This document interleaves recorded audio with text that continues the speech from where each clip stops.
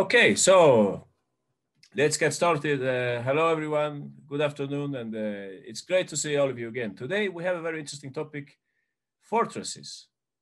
And I picked this uh, position, which I came across yesterday, and it seems like everyone else has also seen this position. And that's great, so that you can see that the idea of fortresses is really important in practical play. So I don't even know who should I pick here to to tell me how to save black here. Um, anybody thinks that uh, they have a clear understanding of this endgame? What should Vachier have played here? Anyone? A lot of people are telling me the right move, but um, can anybody explain this? Ryo Chen, okay, Ryo, we will call you. Ryo Chen, please share with us, Ryo, what is this endgame about? How to save black here? Hello. Uh, yeah, yeah. I, I was actually watching this game, and then yeah, I, I I'll tell you how to draw. But and there, and it, earlier in the game he played h4, and then I was thinking, why not rook d6, knight f5, rook b6, and then I was watching and he played h4, and I was like that, and then Ogard was also like that. Okay. Uh, the the drawing idea is knight g7. Okay. Um, because right now all h5, g5, f5, e5, e5, e6, e8, all of the swords are controlled except for e7. But e, but by the time he gets there, he's I can start checking him, and then he will not be able to deal damage to draw. Exactly, exactly. You're completely right, uh, Ryo. I think uh, the same thing uh, uh, that you do. We in this way we keep control of a lot of squares. In the first place, we're avoiding the white king to reach h5. Those of you who saw the game, uh, well, we will come to that very soon. You saw that actually that was the way in which white managed to win this game by entering with a king. But uh, okay, I also think that Vachier, he had his reasons not to play knight e7. For sure, he, he considered it. But in the game, finally, he opted for knight h6. We can see very quickly how the game went. Um, yeah, I mean, this is this is very complex, but let's see what happens here. Uh, so about this point, I think already Caruana is uh, considering the idea of bringing his king to h5. But of course, if, if we go now, the king might perhaps go back uh, to g6. So here there is king f4, and then the king gets back, preventing king h5, king f3, king f7, and so on. And later on, we reached a key moment. Here, I think, again, there was a chance to use Ryo's idea. We could have played here knight c7 so that the knight would reach the key square on g7. However, that didn't happen. Black played knight e7, and here, just for the record, this is how the game went. Finally, uh, let's see here. Finally, the white king was able to enter. Now, at this point, you can see that he's cutting off the Black Knight. Also for this reason, it's useful to understand that we should not play g4, for example, in this uh, endgame. We should keep the pawn on g2 because it gives us more flexibility. For example, we can use the g3 square with the rook. And also we avoid exposure uh, of that pawn. So that's how the game went. And here finally there was king g4. Key move, the king is coming to h5. And here it is where we would have needed badly to have a knight on g7, like Ryo was saying. So if king g6, simply king h4, and the black king must let the white king reach h5 next turn. So in the game 97, and then finally the king entered, and now the fortress has been taken, so to speak. Now, only now, uh, Caruana moves the g pawn forward when he knows that uh, he's already about to win this game. So the king cannot go back to f7 because then we have g5. So there is no way in which black can prevent really the move king g6 here. In the game that was king e5 and king g6 black resigned because he's going to lose that pawn very soon. Okay, now back to the initial position. Ryo was saying knight g7, and I tried myself to figure out how would this be a draw. So my guess is that white would try to uh, bring the rook to, let's say, far away from the knight, avoiding any forks. And later on, white's only chance would be to, like Rai was saying, the square on e7 is not covered. So this was, was what I thought, something like this. And the key idea for black is to attack the pawn on g2 as soon as white gets too far away with his king. So for example, if king d7 trying to improve the king, now we could actually send our knight to attack that pawn. And once we manage to attack it, once uh, we can go back with the knight. And as you can see, we can later on use our king in, uh, in aggressive fashion. So I guess this is what would have happened perhaps. So king, uh, rook a7 also. Uh, oh, Zoe says, what if king f3 instead of king d7? Well, let me just finish off this uh, line and, and then we, we will have a look. Please uh, remind me of this. So again, white is trying to take the fortress. As you can see, the king has managed to approach the pawn, but in a different way and that in the game. So now it's already time for black to attack the pawn. So now we should use the knight in an aggressive fashion. So here I almost thought that we could play something like knight h4, but actually that's a huge uh, blunder here to play knight h4. Uh, it's a bad move because white could play rook a8.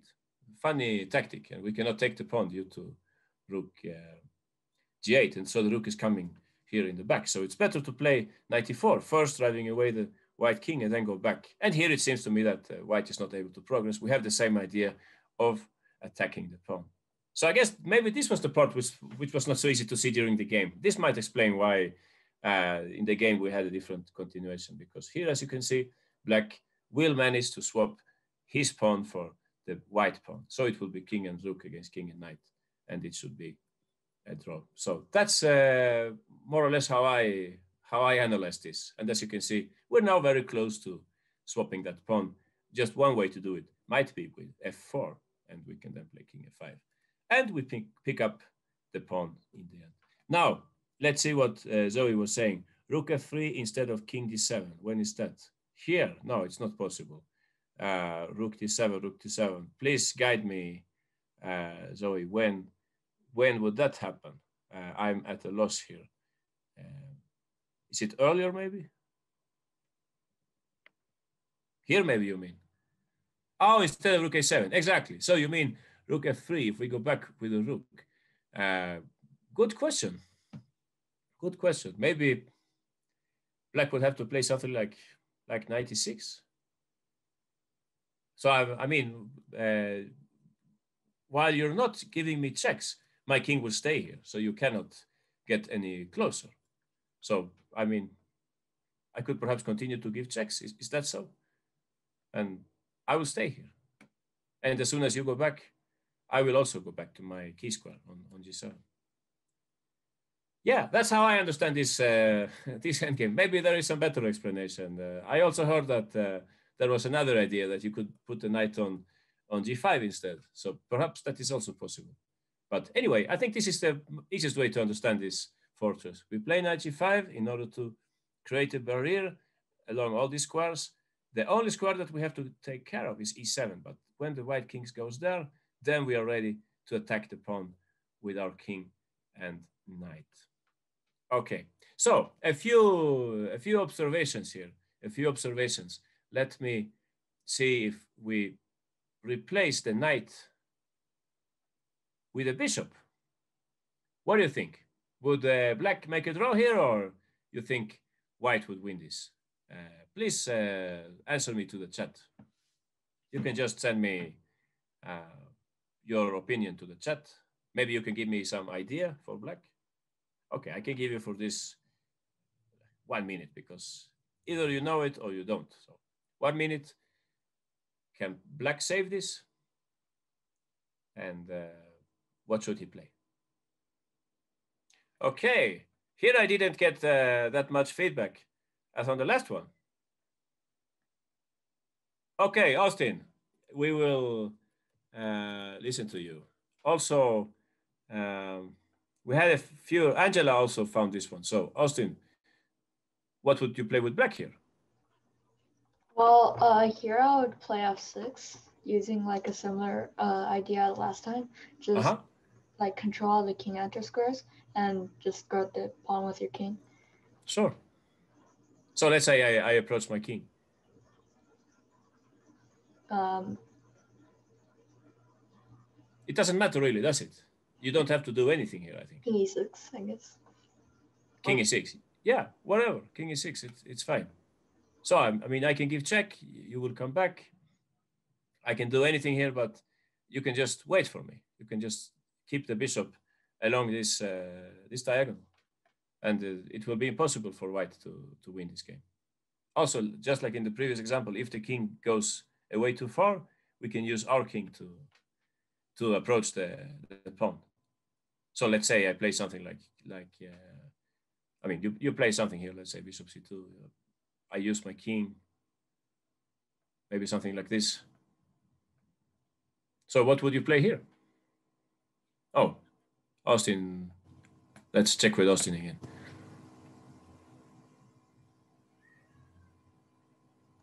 So what do you think, Austin? I would play. Time for counterplay, perhaps.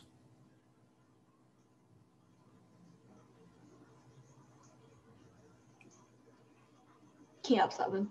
Exactly. I think that's the right way to go here. So once white is about to, to give check on the seventh rank and force us to uh, move away, uh, it's a good moment to, to go with the king towards the pawn.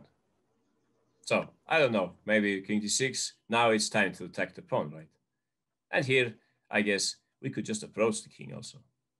And we could simply uh, try to take the pawn by moving our pieces forward. So this is quite an easy draw. You're completely right, uh, Austin. The best move, I think, is f6, because in this way, we keep the pawn on the dark square, and we have the bishop of light square, so it makes a good combination. We definitely shouldn't play f5 here. This would be a horrible move. It, it would let white enter with, a, with his pieces. And as you can see, one key idea for white would be just to sack on on f5, uh, transposing to a one pawn endgame.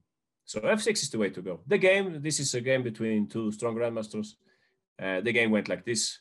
White was never even close to doing anything. Like I told you, moving this pawn usually it, it's not good for for white. It's it's rather beneficial for black because it will speed up his counterplay once he's able to bring the king. Um, so I guess uh, no way that white can win this if king h5, most probably black had prepared here f5, I guess. So he's picking up the pawn.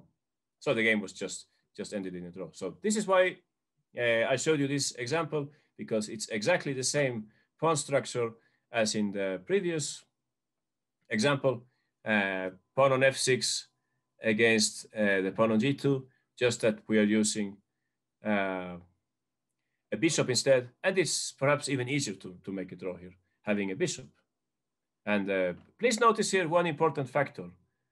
When we have pawn, pawns on neighboring files, this usually helps the defender. It's good for the defender. It's easier for him to create counterplay. He can use, in this case, the G file for an attack at the pawn.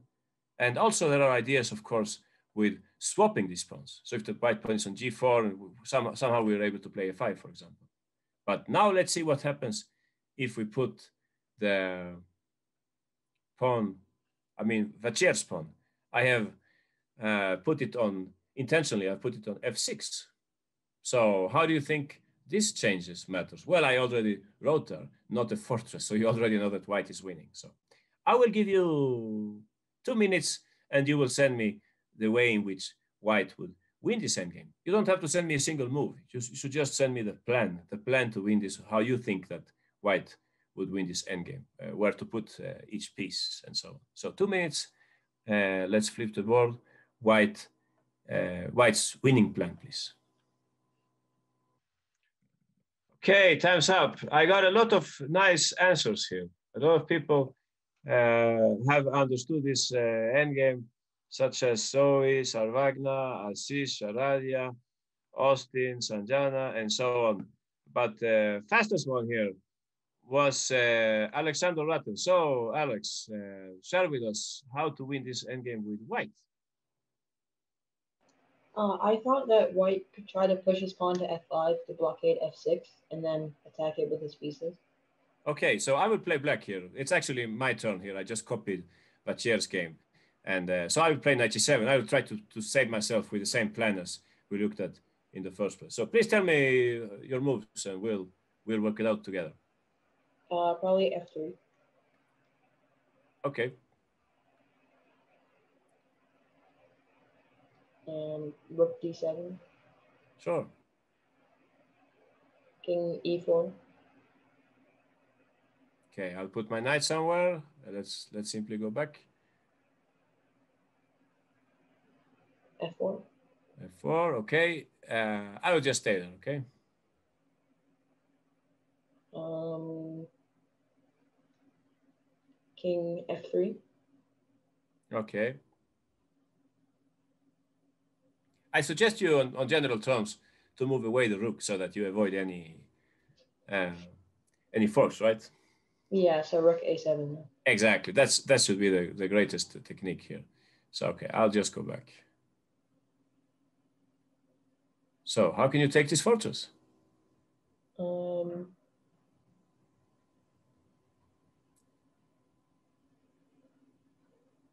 rook a5. Sure, I'll go back. Rook c5. Aha, losing a tempo. I think we're on on a And good then- uh, track. Sorry? And then king g4, yeah. Exactly. So now you kind of put me in Zugzwang, no? This is uh, uncomfortable for, for black. I don't want to play f5 because I know that then this pawn will become exposed. So uh, I'll just play something else. Let's say king f7. So now you can continue with your plan. Now I'll play rook c7 first. Oh, no, actually, Okay. no, f5. maybe. f5 is better, right? Okay. Yeah. So, and uh, what is the last part of the plan? Now um, we try to attack the f6 pawn somehow. Okay, but you can only only attack it with a rook, right? Because I can always defend it. Uh, but there is another idea here for white, which will win the game. And uh, actually, uh, some other students already found this plan, but uh, Oh, I'm sure you can can find it as well. We can take Sorry? the knight with the rook. Exactly. You, you should just prepare to take the knight with the rook. As you know, in the pawn endgame, if we're able to reach uh, d5, d6 with the king, we're winning, since the pawn is already on the fifth rank. So uh, you should just just prepare that plan. So, how to continue? Uh, rook c7 check. Sure. Then king f4. Uh huh. Okay. Whatever here. Knight h5 perhaps. King f3. King f3. I go back. King E e4. Exactly. So now everybody can see here the big difference. I think also uh, somebody said that uh, with these pawns on the same file, also black has no counterplay, and that's completely right. We, we don't have any counterplay. Let's just finish off this variation. Uh, please continue, Alex. Um, rook h7. Yeah. Okay, it's, it's not strictly necessary. I think you can just continue with the plan. Uh, Yeah, maybe just king d5. Exactly. So now it's clear what's happening here. White is about to play king e6, and if I go back to g7, Then I take. then you just take. Exactly. And white is winning. So that's basically it. Uh, excellent work, uh, Alex. So that's it. That's how we can win this endgame. I thought of a different way myself. I actually thought about using the first rank with a rook. I thought that was also a good idea. So that, um, yeah, what's the big point actually with, with this? Uh, somehow I, I prevent the king g6 from happening. By the way, don't get deceived by rook takes g7 here. This will not win the game. It will win the black f pawn, but it will not win the game. It's too early to do this, just for the record. If you play like this, you can already guess what black would play here. Exactly, I can just give up the pawn at some, some moment here. Or if you play perhaps, let's say first f3, maybe this would be more clever. But uh, I'm sure everybody understands here. I'm just going to give up the pawn at the right moment. Not now, because white would win by opposition. We should play first king e6. And whenever white plays f4, this is the good moment to play f5. So black will make a draw here, unless I made some mistake here. I don't think so. so once you want to sacrifice uh, against a knight, make sure first to have your pawn on f5, which is not the case here. So that's why you could play something like this and then f5, and then we're ready for the sacrifice. Well, basically what Alex was, was doing. So it's clear to everybody that this is not a fortress for the simple reason that the pawns are on the same file which usually, almost always, helps the attacker in, in probably any endgame. Uh, because, like I was saying, it's more difficult to create counterplay, and also it's much more difficult to swap the pawns for the defender. Okay, now let's uh, get started. Now we start from where I had planned before I saw Vachier's endgame or Caruana's uh, great endgame yesterday. So this is where this lesson lesson was actually about to start. So you get here only one minute to find black's best move. Black to play, send me black's best move, please. And associated idea. Okay, time's up. I got a lot of correct answers. I'm sorry if I cannot uh, name all of the persons who got it right, but uh, Zoe was one of them. So please, Zoe, uh, what to play with black here? I want to play h5 followed by bishop g4, and I'm just going to wait around with my king since your king is stuck by a barrier. Sure, that's completely right. Uh, I cannot really make progress here. Let's say I give check. What would you do with your king? Oh, so he just left. Never mind. Yeah, of course, we shouldn't go back. Then we might get into some trouble. Who knows? It's much better to go to h7. And our next move, uh, we should simply put our bishop on g4, like Zoe was saying. So let's just make a random move here for white. Yeah, whatever, queen c7, bishop g4. So this kind of position was reached in the game. And uh, Bent Larsen simply agreed to draw. He noticed that there was no possible way of winning this. So in order to understand this fortress, we should look at a few different aspects here. One of them is that we have protected squares for our pieces. So the black bishops can never be attacked, and also the pawns cannot be attacked because they are protected by, by those bishops. At the same time, we can see that white has no dynamics. He cannot push g4 anymore. That's what makes h5 the only good move here. And also important to understand that white cannot create uh, a Zugzwang here. Of course, the king could get a bit closer, but we will always have at least one square for our king. So you could play something like king h6 and you could put your king on g6 if you like. So no way white can win here. Of course, also it's important to understand, just like in, in Caruana's endgame, that here black has the kind of perfect barrier. He's taking all these squares from, from the white king. So the white king cannot enter anywhere.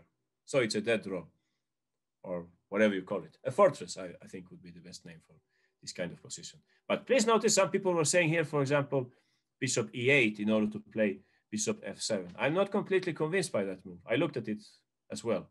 I think that by pushing g4 at the right moment, white might be able to win this endgame. You could play something like queen b4 first in order to disrupt, we should disrupt his plan by playing queen b8. The king must go to f7, and now we're ready to play g4. Well, whatever would happen here, I can assure you that black's task would be more difficult. Let's say he takes on h4, we could then try to trap the bishop by giving check and playing g5. And here, as you can see, no fortress anymore because that bishop is too far away from home. It's going to be lost here somehow, some, some variation like bishop e1 and queen e5 check. So it's very important to play the move h5. Why not king g6, says Ashish. Uh, oh, right here you mean. Okay, can you play like that? I would say that white is about to, to mate, but maybe there is no mate here. Yeah, maybe, good point. Maybe queen e4, and I'm giving check. You have to go back with the king.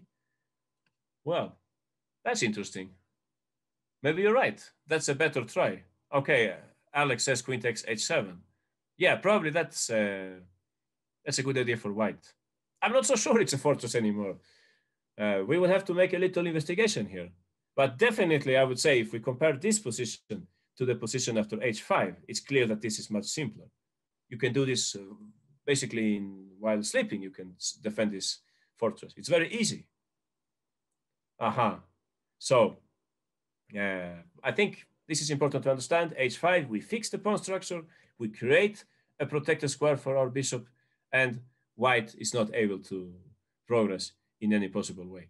The game was just drawn in this position. Uh, I uh, modified the position a little, but uh, actually the game went like that. Uh, this position occurred. Okay, so everything is 100% clear. Black is losing by three points here, we could say, but still he makes a draw with considerable ease. Please notice also one other important detail. We have one single uh, flank here.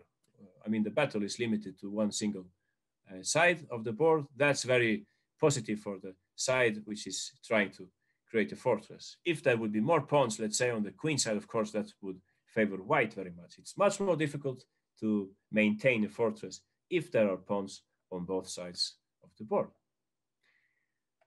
Okay, let's move on. Here I have a new little challenge for you. You're playing here with the black pieces. I would like to know which is black's best move and what's your idea here. Two minutes. Okay, time's up. We had several good answers here.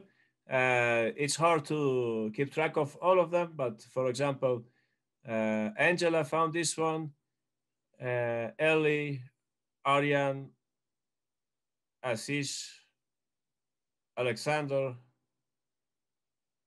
and uh, more people. so Ashish, uh, you were the first one, I think. So please uh, shoot, Ashish. How would you continue with black here? Oh, I just said b3 to trade off uh, trade off the queen side pawns. Okay, I'll, uh, I guess I'll take. take it. A b3. Uh-huh. And then? I have knight h3. Exactly. The knight must go to the protected square on g5, on g5 right? So let's say I play king c4. You would simply play knight, knight, knight g5. g5. E exactly. And uh, yeah, you're right. No way white can uh, progress here. Okay, thanks, Ashish. Great work. The king could get closer, but the knight will always have at least two squares where it can stay, and the white king cannot get any closer. It cannot get any closer. Uh, it can reach uh, e6, uh, threatening to give mate in one, but of course the knight will get back.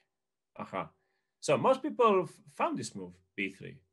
But let me tell you that it's extremely important to play it here. I designed this position so that uh, no other move would work for, for, for black. And I don't think there is any other move. So for example, if you play knight h3 here in order to speed up this plan, white would have a good move here. Uh, anyone, what would you play with white? Well, there are at least two or three different moves. Exactly, Aradia found this one very quickly. King b2, whatever I think, any king move, but it's important to move the king so that if black now offers the trade, of course, white will decline because white wants to have pawns on both flanks. In this way, now white is definitely going to take that pawn. And yeah, the rook will be much stronger than the knight in such kind of battle with pawns on both flanks. So it's very important to play b3 to hurry up the exchange of pawns, no matter if we lose a pawn. So no other move available here. Uh, you could also try to play king e7, for example. But then again, rook d4, this is a killer move because after b3, white has no intention of taking that pawn. White will just play king b2, of course. And after knight h3, I'm sure that you know what he will play, right? It's important to understand here the logic of the position. Exactly, Sarvagna found this one very quickly, a3, and it's game over. Okay, Zoe is saying, could white play king d7, rook e8, king e8, king is rook e7, king e8? That sounds very interesting. Let's see, how can we get there? Well, we will have to have the king on d6, right? So what would be the plan here, Zoe? How would you arrange this? Rook e7? Okay, rook e7, that's certainly playable. Knight g5, king d7, I will just go back. And what would you like to do now?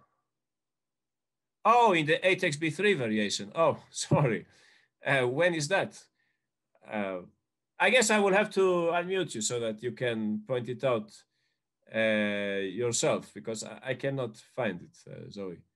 Uh, when was that? 8xb3? It's not here. Okay, never mind. Uh, I think uh, there's no way for black to lose uh, once he swaps the pawn. So why did I put this example? so that you understand very clearly that the side which uh, wants to create a fortress should try to reduce the battle to one single flank. That will help him a lot, especially if it's a knight involved, of course. The knight is very bad when there are two flanks on the board. However, I wanted to show you that in this position that we reached, we, we already concluded that this is a dead draw. I just wanted to show you also that if I adjust this position and I put the pawn on h4, as you can see, white would win on the spot. This is not a fortress anymore. So it's a very important detail that we have this square available for our knight. So it's very important if you play white, for example, not to hurry to play h5. Probably in this game, white played h5 much earlier or f5. They didn't even think about the fortress at the moment when it was played. But I mean, this is a, an important pattern. If you're attacking in the endgame, try to keep a more dynamic pawn structure if possible. Okay, let's move on. What's next? Now we are going to talk about um, one of the most typical cases of fortresses, queen versus rook with pawns on the board, obviously. And here I will just give you one minute to see if you can tell me black's best move and idea. Okay, Rayo already found it. Great uh, work, uh, Rayo. Just two seconds. so black to play, black to play and draw. Okay. Let's see if I can type this. Okay, time's up. Let's listen to Aryan Gutla. Aryan, what would you play with black here? So here you go, rook e1 check, followed by rook e6. Okay. The idea is to create a six rank defense against the queen and king. And now the sure. king can't really infiltrate. You just need to stop the pawn from going to eight six. Sure. And uh, what about Zugzwang? I have no chance of uh, putting you in Zugzwang, right? Yeah. Let, let's let's uh, make a try here. I play queen, d queen d4 check. What would you play? King d7. Yeah, king h7. I'll play queen d7. Let's just move around the pieces. And now. I'll play king g5. Okay. So what would you play? Well, you have several moves, but uh, sorry. Check, check. Yeah, you can give check exactly. And if I then try to, let's say, lose a move here, uh, what would you play? I can go to h6. Aha, you can just go to h6. Actually, you can yeah. go to f6 as well. It doesn't matter. However, what is clear here is that, uh, like you're saying, the defense of the sixth rank or whatever, we have two squares here where we can put our rook because our king must stay at g7. Uh, what we must not allow here is the white queen to reach f8. If the white queen reaches the f8 square, we are lost because we won't be able to maintain the fortress anymore. So great work, uh, Aryan. That's an excellent idea. Rook e1. This is a very useful technique. Uh, this appears a lot in practical play, so it's definitely a good idea to keep this idea in mind. Any other move would lose here. Let's say rook f6 is, a, is bad due to queen d4, right? We're actually winning the rook at once. And if you try something else here, let's say something like, like rook h1, I know it's a silly move, but just in order to, to understand this, uh, white could win by some queen maneuvers. And as you can see, there are tactical motives here. If now the king goes back, white can play queen f3. And in this way, we are creating a double attack against the rook and the pawn. So black won't be able to save this. It's already too late. This is not a correct fortress to put the rook in this way. Uh, however, he could not go back with the king because then again, the rook is too far away from home. So white would just pick it up with queen g3. So rook e7 perhaps. And here, as you can see, finally, we are ready to go h6. We could go h6 here, or we can perhaps give check first and then go h6 and white wins. So very important, the sixth rank. Extremely important to bring a rook this way. Okay, so here we have seen that black is able to save himself. Now let's say that we adjust this position uh, slightly. Let's see here. I will make a slight adjustment. Did you see what I did? I moved everything one rank upwards on the board. So what do you think? Fortress or not a fortress? Please give me a variation uh, which shows your point. So I will just give you one minute. Why to play? Let's see if you can take this fortress. Okay, time's up. Yeah, several people are saying that this is not a fortress. And uh, Alexander provided a very nice variation. He found one of the two ideas that, uh, that I looked at. So please, Alex, share with us. How would you win here with white? Uh, I thought that h5 is good for white because if king takes h5, there's just queen f7, and that's a win. Uh huh. And if rook takes h5, then queen e8, and for example, after king h6, queen h8, king g6, queen g8, check, king h6, king queen f7. I think uh-huh. Actually, you could have played queen f7 straight away, but it doesn't matter. Exactly. Oh, yeah, is, yeah. No, and it doesn't matter. This is the way to, to win here. Okay, I could try here to play rook f5, but of course, you have no reason to take that uh, rook. You can just move away your king. And uh, well, it, you're not, uh, I mean, you're winning, but it's not so easy still, but you will win in the end because uh, now the, the fortress is not working anymore. The black king must uh, go out, go away, and uh, you can win by Zugzwang later on. So this is a nice way in which you can take the fortress. Um, as we can see here, what uh, Alex has noticed is that he can use the last rank, um, I mean the eighth rank with a queen. That's the big difference. I mean, if, if we compare with the previous example, we can see that um, this would never work after rook e1, king f5, rook e6, h6. Yeah, it, it doesn't make sense. We just take, there is no queen e9 check, so to speak. So this is just going to be a draw. However, here we can give check on e8, and that's the way we can win. But actually, there is an even, even simpler way to win here. Um, we can play here queen g4 check. And the thing is that now the king must stay on the h file, else the pawn could run. So uh, let's say we play here king h6, we could go queen g8. So it's similar to, to Alex variation, but the pawn is still on the board. And if king h7, now we're ready to hit, uh, to, to advance the, the passed pawn. And this is no longer a fortress because we can then pick up the f6, f6 pawn. It cannot be defended anymore, as you can see. If king h6, we could just go queen f7. Very similar to Alex variation, just that we still have the pawn, which should evidently be much better for us because we can, for example, uh, we can use the g6 square with our queen, for example. So black is just dead lost here. Rook g7, queen f5, and we pick, pick up the pawn and we win. So definitely this is not a fortress. From this, you can also conclude that the move f6 must always be a bad idea in such positions. Uh, we should always keep the pawn uh, as uh, further back as possible uh, in order not to give the queen too much space to, to work on, okay? So let's make another little adjustment to, to this position. Let's say we move the positions a bit to the right. As you can see, I moved everything uh, one file uh, to the right here. So what do you think? Can this fortress be taken or it's, it's a fortress? One minute, send me a possible way to win if you think that it's a fortress. It's not a fortress.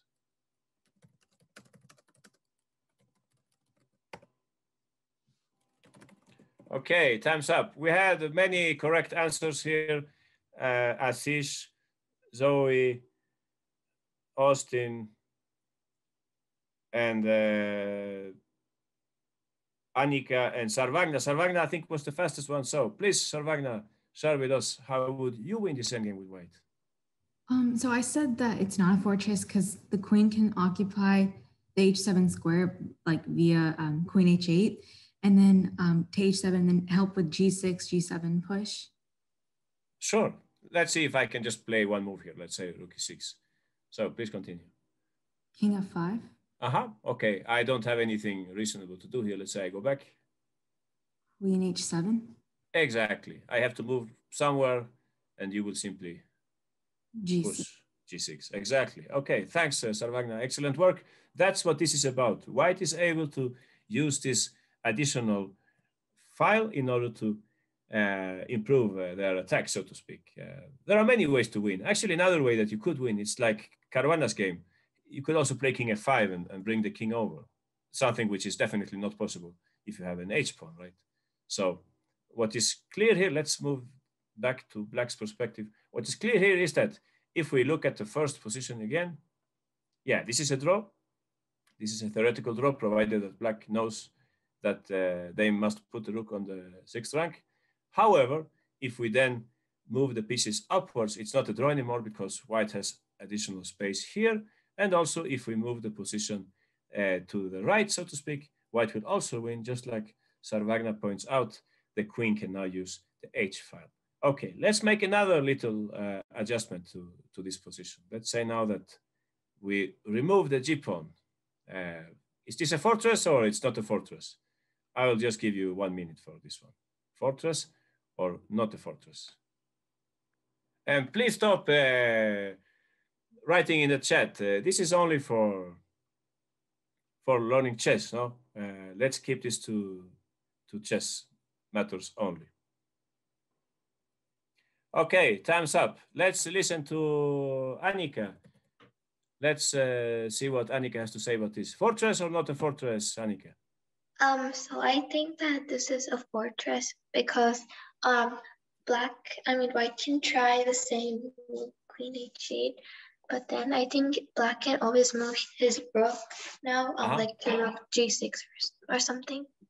Uh, you could put it on g6, but in that case, perhaps uh, there might be some dangers, right? I could perhaps play queen h7, so I'm forcing you to surrender the uh, the important sixth rank. So I think you can find a better place for for your rook. Try to find a protected square for your rook. So then, um, maybe like rook, um, maybe something that like doesn't allow the check, but it also protects the king. Uh-huh. Exactly. So maybe rook, rook f6. Exactly. If that, if queen h7, then king e8, then I uh -huh. think that you can just um like if he checks again, then I think you can like either move to d7 or just block. Yeah, we should definitely keep our rook on the sixth rank. So the only thing we have to keep in mind here is to don't put uh, our rook uh, on some dangerous place. Just keep uh, the rook on one of these two squares. Protect the squares. There's no way white can uh, reach a Zugzwang here. This is a dead draw. Very good information. Now, if you're playing some endgame uh, with less material, try to swap off the pawns, let's say on the queen side, and try to reach this uh, kind of position. So excellent work, uh, Annika. This is really important stuff. I made another adjustment. You, you, you see what I did here? We had this position and now I have added a white pawn on f5. So your call, guys. Is this a, a fortress or it's not a fortress? Please send me your answer to, to, to the chat.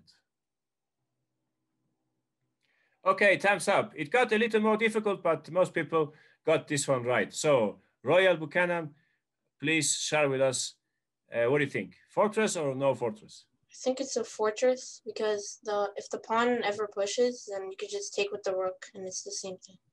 Sure, but let me play here. I, I, I get I get the point. Uh-huh. Let's say I play here queen h, h8. Where would you put your rook now? Uh, rook f6. Yeah, now you shouldn't do that because this is actually what we looked at in the Caruana endgame. Actually, oh, because oh, he can he can take. Exactly, he can take. Now this is the same thing as we as we saw in that endgame. Since the pawn has reached the fifth rank, uh, white will always win here. So uh, let's see again, uh, Royal. What should we do with that rook? Okay. Um, maybe like rook, uh, rook, rook a6 uh-huh, rook a6 or rook b6. Uh, I think both of them are possible. For some reason, I like more rook b6. So why might that be? No idea, really. I think your move is, is just as fine. Uh-huh. So this is not a protected square. That's why this is a more difficult fortress. Rook uh, a6 is definitely not a uh, protected square. If the white queen was able to, to reach c4, for example, white would win. But I don't think that's possible. So you can give check here. We will go back uh, white can play whatever, and we will try to bring our rook back. So, uh, oh, oh, I think I just made a blunder here, right? I stepped into this myself. So please be careful. Don't repeat my mistake. Uh, where should we put the rook, uh, Royal, after queen h3? What would you do with that rook? Which is the safest square? Rook d6. Exactly, because here it, it doesn't matter if white is able to somehow sack on d6, it doesn't matter. We will always draw. It's, it's better to use the d6 square. So I don't think white is able to, to win here, really. Uh, this is going to be a draw. No way he can he can take the fortress. But it's, it's important uh, not to put the rook on f6 whenever white is able to sacrifice on f6. So excellent work, uh, Royal. This okay. is another fortress, despite the fact that we're actually losing by four points, you could say. Uh, no way white can take this, this fortress. Um, oh, some people were talking about queen e6, but that's not going to work ever, will it? I mean, even black, I think he will win a pawn here. okay, it will be a draw anyway, but it's not going to work, queen e6. But those of you who are thinking about these ideas, let me tell you that later on, we will come across this uh, idea, only not in this situation. So let's continue. Let's see this from White's perspective. We have a very similar position, uh, but this time, what could we say about this position? Um, it's similar to the previous one, but White is much more actively placed and uh, he can actually take this fortress. White can, can win here. So I will give you two minutes and uh, I would like you to just uh, create a plan for white. You don't have to give uh, specific moves, but uh, tell me where to put which piece to see if we can take the fortress. So two minutes, please specify white's winning plan here. Okay, time's up. Uh, this was a more difficult one. I can see that it's getting more and more complex. Let's uh, listen to Aradia Panda. I think Aradia is on a good way here. How would you play here? Yeah, I wasn't totally sure, but like I was thinking like um if we trade off the pawns, we're probably gonna be um like uh like okay, it's getting really hard, but um if we play like pretty good, we'll um win. Um so but then um I was thinking like I was thinking two moves first, like maybe like try to like because rook h6 is probably gonna come. I was thinking like f4, rook h6, queen e8, um, g5. Just one question, uh, Aradia. You did check queen takes h6, did you? You, you checked this uh, possibility. Yeah, I checked this, but like I was, um, maybe there is something, but I'm just thinking king f8, or yeah, that's I was thinking. Exactly. Like, yeah. Uh-huh, and it's a draw. So, I mean, the, the, idea is not bad to, to sacrifice, but it doesn't work. So let's uh, stick to your plan. Queen e8 check. Okay, I'll go to h7. Yeah, and then Please I was continue. thinking like king g5, um, like king g5, and try go like f5, queen g6. but like. Okay, let, let's let's uh, let's check this.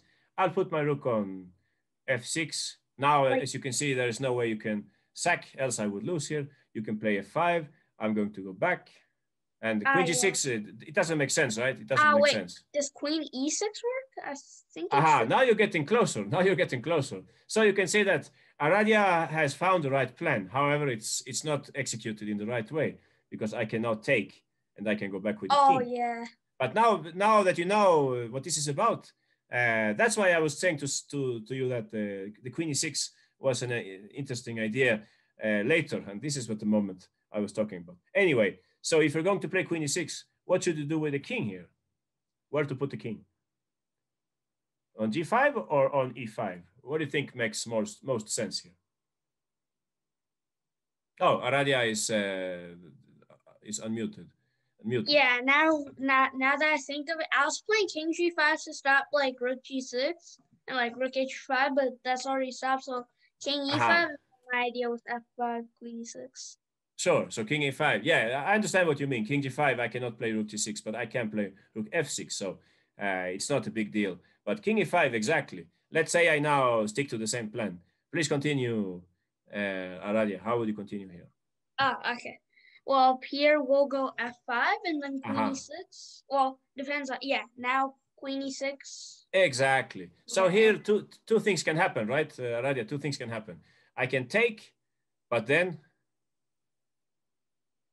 yeah, then you just go politics. Also, I think this idea was used like um Nepo, like in the candidates like first seven rounds, something like that. Really? There's, oh, I I didn't know that. I, I would have to check it. Okay, Nepo in round it was seven. like you go queen e6 and then like king d6. Really?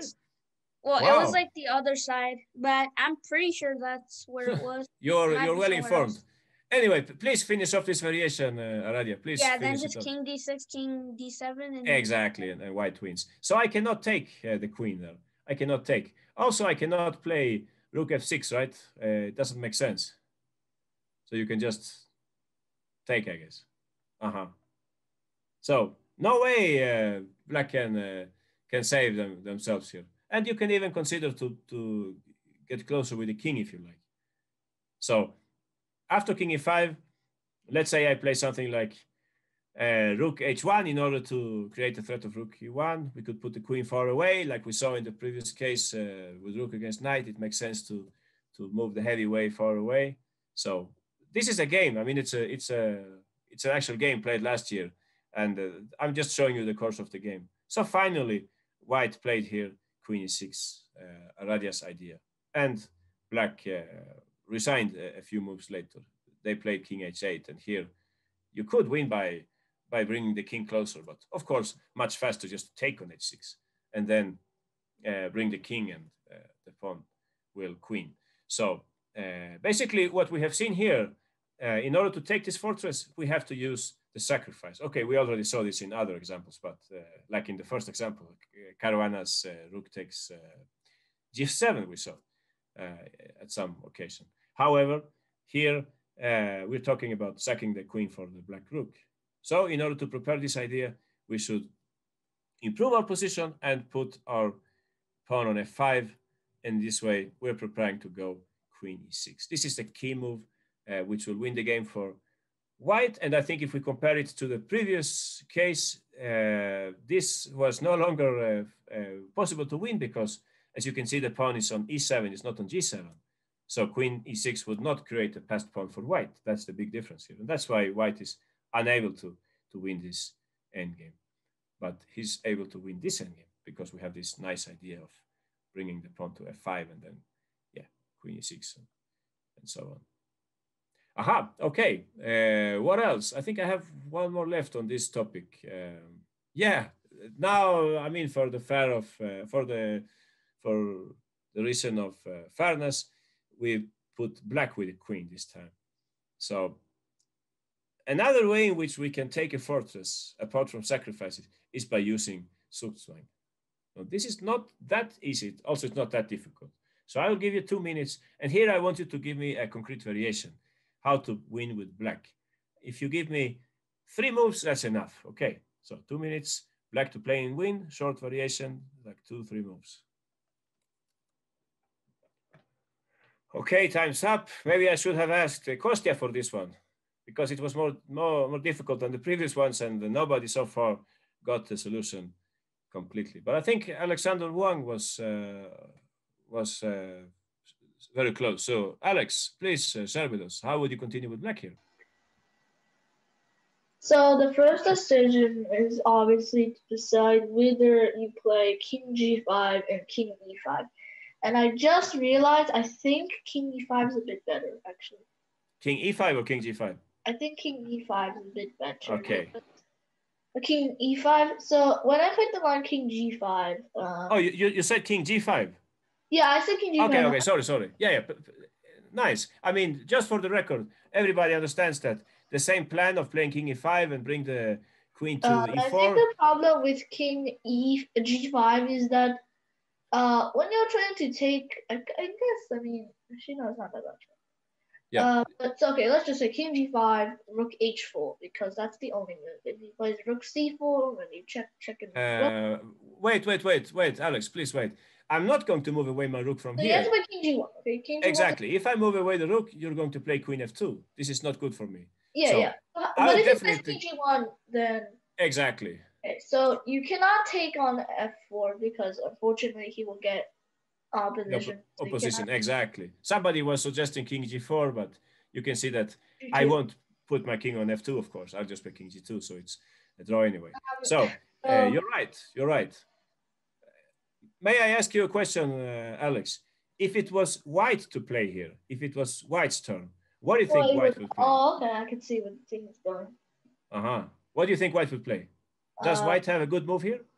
If it was white? E4 is legal, rook a4 is not good, h4 is not good. Aha. This is not good. Uh, definitely going back with the king is not good. What what so it looks like it's um it's what Zugzwang. So I guess white can black can play queen uh oh how do I try queen let me ask you something, uh, Alex. What do you usually do when you want to lose a tempo in the end endgame? I usually do triangulation. Okay, so please, please uh, stick to that concept. Please uh, triangulate now. Mm. Please do it. Okay, okay. Zoe also found this plan. Sorry? I can triangulate the king. Oh, I can. Wait. I can play just king g6? Exactly. We start with king g6. Now white doesn't have many moves to choose from. We have to play king g1 because there are no good rook moves. Definitely going away with the rook, like we are saying, this is not yeah, good because queen f2, queen f2 and the, pawn will, will be attacked. And if rook h3, this is a very bad place for the rook. The king can approach and so on. So I will have to play king g1. And what will you play now? Yeah, king g5. Exactly. Now we play king g5. And as uh, you can see here. King h1 and queen f4. Aha, king h1 fails to queen takes f4. As everybody can see, now it's different because the white king doesn't reach f2, so it's just winning for black. Uh, what else can I play here? If I play king f1, Alex, what would black play? Uh, black just, I guess, plays queen. Uh, hmm, I guess he can play. Um, well, oh, queen h2, queen h2. Exactly. Now we take the fortress because the king is not taking care of the h2 square anymore. So king f1 is also a bad move. And let's say I play here rook h4. Now, I mean, in the previous line, you could play queen f2, but here you can't. But still, you can use your queen in a clever way. Uh, how would you use your queen here, Alex? Uh, Just to bring it a little closer to the white king. Uh, yeah, queen maybe. Yeah, queen e1, king g2, please continue. Queen e2 also. Exactly. Queen f3, I see. And that's the key move, queen f3. So now white will have to move away the king and uh, what will happen next? Yeah, easy, right? Very easy. You will just go for mate here by queen f2, right? So now the, the fortress has been taken and black wins. Aha, excellent work, uh, Alex. So, uh, well, I was going to ask Alex for the last uh, variation here, if rook f2, but uh, let's see if somebody else can uh, can figure out what would happen here. So I will give you, I think, only one minute for this one. So black to play and win. Please give me a little variation for black here. Okay, I didn't get many right answers here. Uh, Annika is very close, so let's listen to Annika. Please uh, share with us, Annika, how to continue with black here. Okay, so um, I thought the first move was um, queen e1, and then the only actually good move here is king g2. Sure. And then here possibly, um, I mean king g4. I don't think it works because there's just rook f4. Exactly. So we should prepare it, right? What should we play first? So maybe queen e4 and then king g4. Exactly. Excellent. So now queen e4 check. I can play king g1. And now you're ready, right? Yeah. So what would you play? So king g king g4. Exactly. And here you just have to be a little careful. If I play rook f4 check. King x g3. Exactly. We don't take on f4, of course. We take on g3 so that we get the opposition next turn, right? Yeah. So this is this is just winning, right? Yeah. So you, you just continue, you take the opposition and you win. Okay, excellent work, uh, Annika.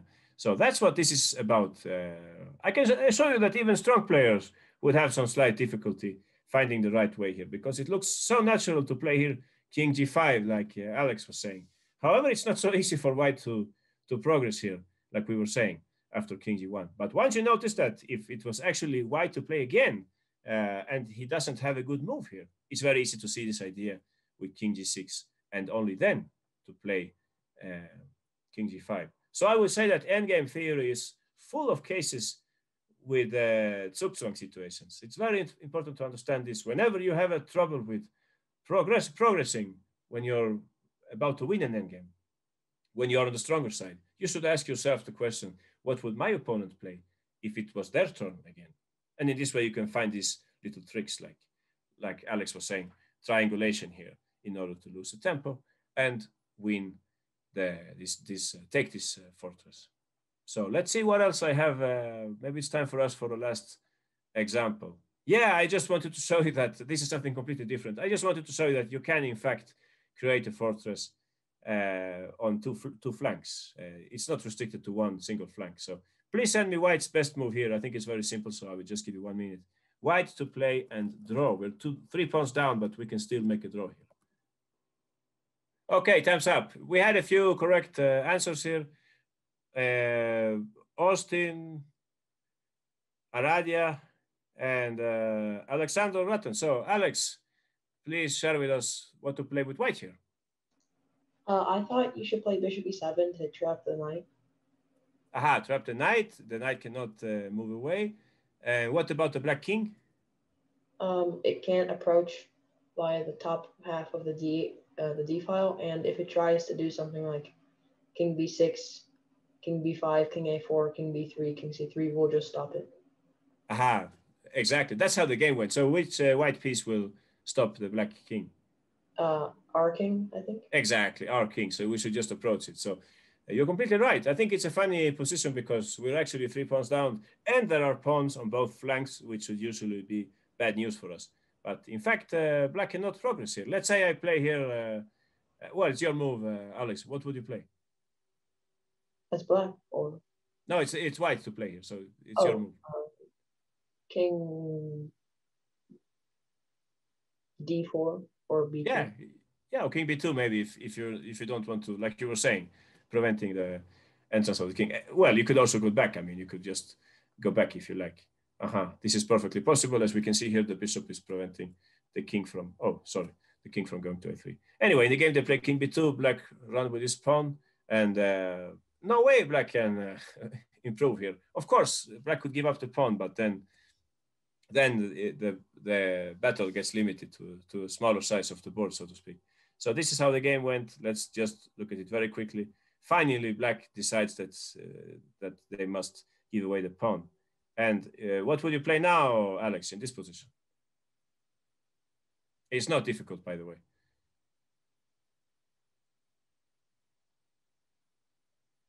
So, I mean, black played king c5 because they noticed that if they play here uh, knight f8, uh, white could just play bishop e7 anyway. So the knight is again trapped. So they played king c5. So. Uh, knight e7 yeah, maybe you can play knight e7. I mean, what we should look for here is to swap the knights because then we could sack the bishop for the pawn and we make a draw because this is the uh, light square bishop, right? So yeah. our main enemy here is the e pawn. So I think you're right. You could play like that. In the game, they simply played bishop e7 and they just kept their uh, bishop on, the, on d6. Uh, sorry, the knight on, on g6. But uh, I mean, had black, black played king d5, then we could use your idea. We could play something like knight e7, right? And then we could trade the knight uh, somehow. Well, on f8 definitely, so that it doesn't run away. So I, I hope uh, everybody understands what what's going on here. We're going to play knight f8. We're going to swap the the knight, and then we're just going to sack on e3 as soon as black plays. Uh, yeah, as soon as black plays e3, we're just going to take on e3, and this is going to be a drop. So actually, here we come across another topic, uh, theoretical draws. Exactly, Annika says opposite color bishops. Yeah, you're completely right. But sometimes they are winning. Sometimes you can win these uh, opposite color uh, bishops endgame. But here, a very important factor in, in white's favor is that the pawn queens on dark square. So uh, it's a perfect fortress, what we have seen here. Let's say from the beginning, uh, just like Alex is saying, bishop e7, fantastic move. In this way, the bishop controls the whole board, and it's impossible for black to, to progress. Yeah, this kind of situation doesn't come along a lot, but uh, it's certainly useful to, to keep this idea uh, in mind.